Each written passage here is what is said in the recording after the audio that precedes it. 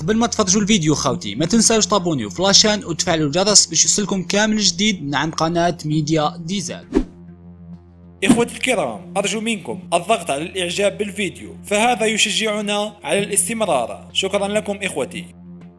رفع الناخب الوطني جمال بلماضي التحدي أمام الفرنسيين مؤكدا أن المنتخب الوطني الجزائري مستعد لمواجهة أبطال العالم. وقال بلماضي في حوار أجراه مع صحيفة L'Équipe الفرنسية بطبيعة الحال أريد مواجهة أبطال العالم. وأضاف أريد مواجهة دائما الأفضل حتى يمكننا التطور أكثر فأكثر. يذكر أن الناخب الوطني جمال بالماضي هو صاحب الهدف الوحيد في شباك المنتخب الفرنسي سنة 2001 أفرز اجتماع المكتب الفيدرالي المنعقد اليوم الأربعاء قرارا بترسيم فريق شباب بالوزداد بطلا لموسم 2019-2020 واعتمد المكتب الفيدرالي إلى الصيغة الثالثة من الاستشارة الكتابية بإنهاء الموسم الكروي الحالي وتتويج شباب بالوزداد بطلا وصعود الأندية الأربعة الأولى من المحترف الثاني إلى المحترف الأول مع إلغاء نزول الأندية الثلاثة من المحترف الأول إلى الثاني. أشارت فيدرالية الموالين إلى تسجيل انخفاض كبير في مبيعات أضاحي العيد لهذه السنة بنسبة 40% مقارنة بالسنة الماضية. انخفاض نسبة بيع الأضاحي لهذه السنة أرجعه العديد من المختصين لجائحة كورونا وتأثيراتها السلبية على جيب المواطن الجزائري.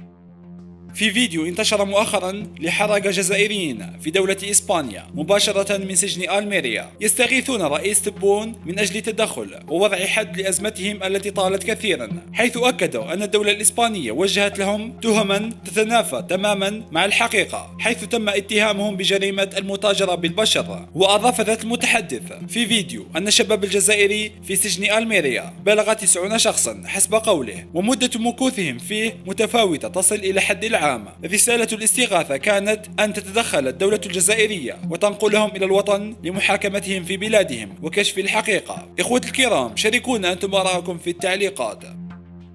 كشفت وكالة طاس الروسية أن روسيا تهدف إلى أن تصبح الدولة الأولى في العالم التي توافق على اللقاح فيروس كورونا. وقال مسؤولون روس إنهم يعملون من أجل الموافقة على لقاح كورونا. في 10 أوت أو حتى قبل هذا الموعد حسب تقرير شبكة سي أن أن. وأضاف المسؤولون بمن فيهم كيريل ديمترييف رئيس صندوق الاستثمار المباشر الروسي أن روسيا تهدف إلى أن تصبح الدولة الأولى في العالم التي يتم الموافقة على لقاحها الجديد ضد فيروس كورونا وهو اللقاح اللقاح الذي يقوم بتطويره معهد الجمالية ومقره موسكو وأضاف ديمترييف يركز علماؤنا ليس على كونهم الأوائل في الموافقة على اللقاح ولكن على حماية الناس. وأضافت وزارة الصحة الروسية إن المرحلة الثانية من الاختبارات السريرية للقاح المضاد لفيروس كورونا والذي يطوره مركز جمال القومي لأبحاث الأوبئة والأحياء الدقيقة على وشك الانتهاء وسيتم تسجيل اللقاح بعد انتهاء الاختبارات. وقال ألكسندر جينسبورغ مدير المركز في وقت سابق إنه كان من المقرر الانتهاء من المرحلة الثانية من اختبارات اللقاح قبل 28 جويلية. بينما أعلن كيريل ديمترييف رئيس صندوق الاستثمار المباشر أن المرحلة الثانية ستنتهي في 3 أوت 2020 ويذكر أن روسيا قد إدعت في وقت سابق أنها الدولة الأولى التي أكملت التجارب البشرية على لقاح فيروس كورونا. ويبدو أن روسيا تتقدم على الدول الأخرى في سباق لقاحات فيروس كورونا. فقبل بضعة أيام أعلنت جامعة سيتشونوف الروسية أنها أكملت بنجاح التجارب السريرية للقاح فيروس كورونا الذي طوره مركز جماليا الوطني لأبحاث الوبائيات وعلم الأحياء الدقيقة. ومن المقرر أن تبدأ البلاد تجارب بشرية على لقاح فيروس كورونا الثاني حسب ذات المصدر. إخوتي الكرام شاركونا أنتم آراءكم في التعليقات. هل هي نهاية فيروس كورونا؟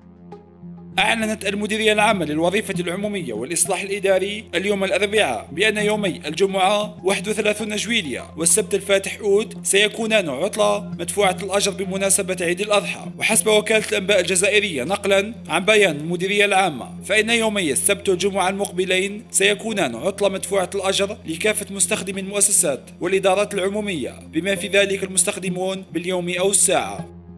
أكدت اتصالات الجزائر توفير خدمات مجانية يومي عيد الأضحى المبارك حسب ما أكده مدير التسويق سفيان لونيس حيث ستتيح المؤسسة الاتصال من الهاتف الثابت مجانا يومي العيد بالإضافة إلى استمرارية خدمات الإنترنت حتى وإن انتهت مدتها. ومن المنتظر أيضا أن تفتح الوكالات التجارية المركزية أبوابها أمام الزبائن ثاني أيام العيد ابتداء من الساعة التاسعة صباحا وحتى الخامسة مساء.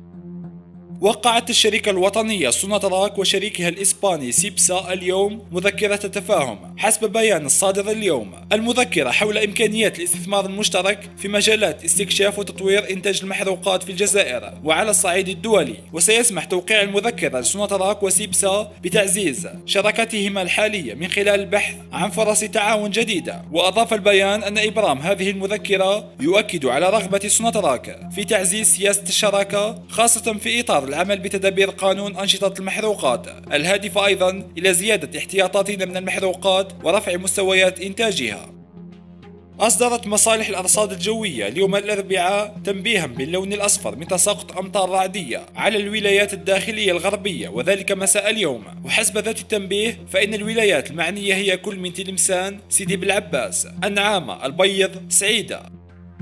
ترأس الوزير الأول جراد أمس الثلاثاء مجلسا وزاريا مشتركا خصص لدراسة وضعية وفرة السيولة في الشبكة البريدية أمام طلب الزبائن الذي يمارس عبر أصحاب الحسابات البريدية الجارية وعددهم 22 مليون. حيث أسدى الوزير الأول تعليمات إلى الدوائر الوزارية والمصالح المعنية تتمثل فيما يلي. إلزامية السهر على تمديد دفع رواتب والمعاشات والمساعدات الاجتماعية للدولة على طول الشهر كله وتكييف مواقيت عمل مكاتب البريد الجديد وفق الطلب المعبر عنه توسيع الولوج إلى الشبابيك الآلية للبنوك من خلال التعجيل بتنفيذ التشغيل البيني للأنظمة النقدية لبريد الجزائر والبنوك. إلزامية إشراك الولاة في الإشراف على حركات الأموال من خلال ضمان مرافقتها بين الوكالات التي تتوفر على فوائض وتلك التي تعاني عجزا في السيولة. التعجيل بالمسار الكفيل بالسماح للبنوك والمؤسسات المالية بدفع ما تتوفر عليه من فائض في الأموال إلى مكاتب البريد. تشجيع الجهات الفاعلة في المجتمع المدني على تقديم المساعدة في تنظيم طوابير الانتظار خارج مكاتب البريد وتطبيق قواعد التباعد الجسدي من خلال الاستعانة بمصالح الأمن المجندة باستمرار من أجل أمن الوطن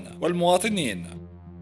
تلقى رئيس حركة البناء الوطني عبد القادر بنقرين اليوم الأربعاء مكالمة هاتفية من سفير الولايات المتحدة الأمريكية بالجزائر جون دي روشر. وخلال المكالمة الهاتفية أعرب السفير الأمريكي عن رغبته في التعرف على وجهة نظر الحركة في عديد من القضايا. وكانت الإجابات واضحة بما هو معلن عن الحركة من مواقف معروفة لدى الساحة الوطنية. من جهته طرح رئيس الحركة أسئلة على السفير لا سيما فيما يتعلق بقضايا وأحداث إقليمية تنعكس أساسا على صيانة أمننا الوطني. وكذا في كيفية تطوير الحوار الاستراتيجي الجزائري الأمريكي عن سير الانتخابات الرئاسية الأمريكية القادمة ومستقبل العلاقات الدولية بعد جائحة كورونا. وتلقى إجابات من طرف السفير وأشار بيان حركة البناء الوطني أن المكالمة الهاتفية بين الطرفين دامت 60 دقيقة.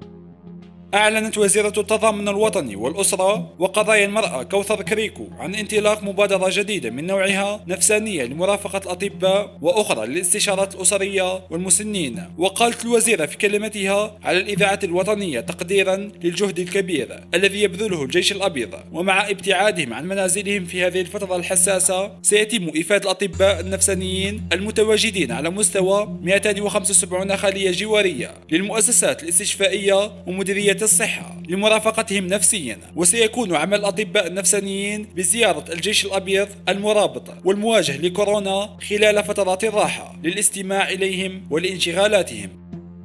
وضعت الوكالة الوطنية لدعم تشغيل الشباب رسميا تحت وصاية الوزير المنتدب لدى الوزير الأول المكلف بالمؤسسات المصغرة بموجب مرسوم تنفيذي نشر في الجريدة الرسمية رقم 41 وأسند المرسوم التنفيذي المؤرخ في 20 جويلية سنة 2020 إلى الوزير المنتدب لدى الوزير الأول المكلف بالمؤسسات المصغرة سلطة الوصاية على الوكالة الوطنية لدعم تشغيل الشباب ومن خلال هذا النص الجديد تلغى أحكام المرسوم التنفيذي المؤرخ في 5 ماي 2020 الذي يسند إلى وزير المؤسسات المصغرة والمؤسسات الناشئة واقتصاد المعرفة سلطة الوصاية على الوكالة الوطنية لدعم تشغيل الشباب.